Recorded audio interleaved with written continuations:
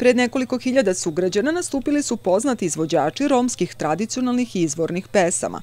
Program su otvorili subotički solisti pod rukovodstvom Bore Nikolića, a zatim su nastupili orkestri Aleksandar pod rukovodstvom Lepo Koleta iz Novog Sada, Manuela Ametovića iz Bojnika, braće Nikolić, Nenada Jovanovića i Vojvođanski Dukati.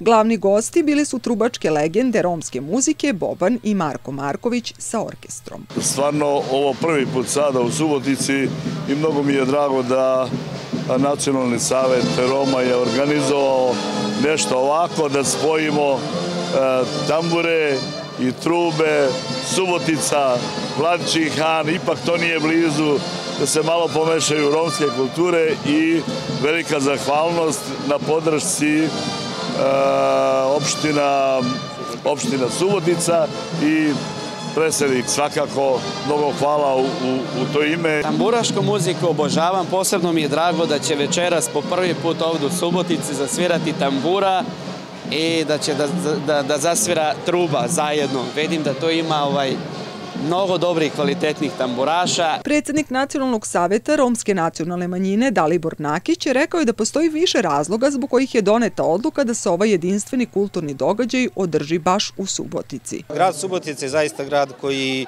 se može pohvaliti odličnim rezultatima kada je reč procesu napređenja položaja Roma.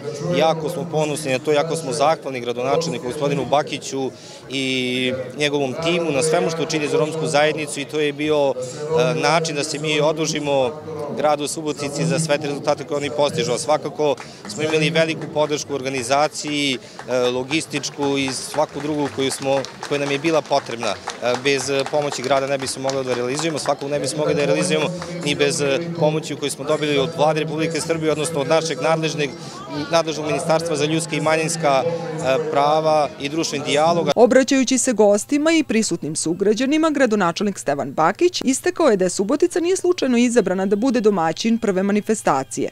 Subotica je, kako je rekao, grad koji gaji različite jezike, kulturu i religiju i ispunjena je bogatstvom različitosti kojim se svi ponose. Jedan e, veliki događaj za koji smatram da će imati jednu lepu i dugu tradiciju, a ujedno je i sa druge strane potvrda takođe e, gradu za velike napore koje ulaže u razvoju kulture, jer e, kultura je za nas Subotičane bitna. Mi kroz kulturu gajimo i razvijamo međusobno poverenje, poštovanje i vrednosti e, kulturnih tradicija svih pripadnika nacionalnih zajednica koji žive na našoj teritoriji. Sekretar u Ministarstvu za ljudska i manjinska prava i društveni dijalog Ninoslav Jovanović poručio je da ova manifestacija ima nemerljivu važnost za pripadnike romske nacionalne zajednice,